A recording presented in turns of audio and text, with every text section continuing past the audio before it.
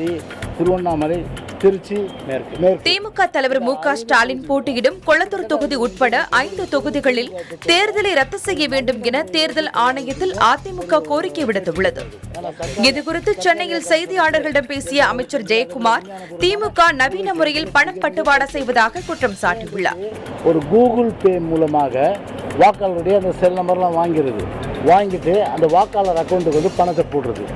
குறிப்பாக குளத்தூர் தொகுதியில் என்ன பண்ணாலும் திருமதி துர்கா மு க ஸ்டாலினுடைய மனைவி. அவர்கள் வந்து எல்லா சுயதொழிலுக்கும் கூப்பிட்டு ஒவ்வொரு மகளிர் சுயதொழிலும் ஒவ்வொரு சுயதொழிலுக்கும் பத்தாயிரம் ரூபா வீதம் வந்து அவர்கள் வந்து ப இது பண்ணிகிட்ருக்காங்க இருக்காங்க. இது எனவே தான் நாங்கள் சொன்னோம்? இந்த கொளத்தூர் சேப்பாக்கம் காட்பாடி திருவண்ணாமலை திருச்சி மேற்கு.